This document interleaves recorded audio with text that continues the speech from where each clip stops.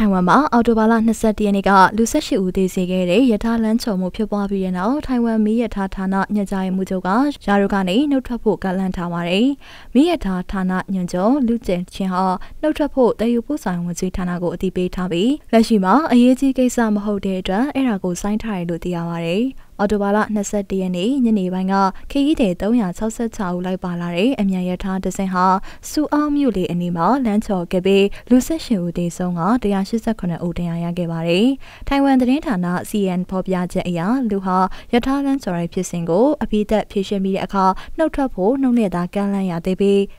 တည်ယူပို့ဆောင်ဝင်ကြီးမူဟုံးမှုကအဲ့ဒါကိုအတိမပြုသေးဘူးလို့သိရပါတယ်။လက်ရှိမှာလူဟာယထာလန်းချော်ရဲ့အကြောင်းရင်းကိုအမြန်စစ်ဆေးဖို့နဲ့နောက်ဆက်တွဲကိစ္စတွေကိုဖြေရှင်းရအောင်မှာပဲဖြစ်ပါတယ်။သူ့အနေနဲ့နှုတ်ထွက်ဖို့ပြောထားပေမဲ့လက်ရှိအခြေအနေမှာကယ်ဆယ်ရေးလုပ်ငန်းကိုအဓိကအာရုံစိုက်ဖို့ကပိုအရေးကြီးတယ်လို့လူကမီဒီယာကိုပြောပါရယ်။ စစ်ဆေးသူတွေကတော့အရှိန်လျှော့ရမယ့်နေရာမှာတနအီကီလိုမီတာ140အထိအရှိန်တန်မောင်းခဲ့တဲ့အချက်ကရထားလမ်းကျော်ရဲ့အကြောင်းရင်းအဖြစ်တန်တရားရှိနေကြပါတယ်။အော်တိုဘာလ22ရက်နေ့မှာတော့အခင်းဖြစ်နေရာကိုထိုင်ဝမ်သမ္မတဆိုင်အင်းဝမ်ကတွားရောက်တည်ရှိခဲ့ပြီးအခင်းဖြစ်တဲ့အကြောင်းရင်းကိုအမြန်ဆန်ဖော်ထုတ်ဖို့ညွှန်ကြားခဲ့ပါတယ်။ဒီရထားလမ်းကျော်မှုဟာ1992ခုနှစ်ကထိုင်ဝမ်အနောက်ပိုင်းမှာရထားနှစ်စင်းတိုက်မိရာကနေခရီးသည်30တေဆုံးပြီး112ဦးဒဏ်ရာရခဲ့တဲ့ဖြစ်ရဖြစ်ပြီးနောက်ပိုင်းအဆိုးအဝါဆုံးရထားလမ်းမတော်တဆမှုဖြစ်ပါတယ်။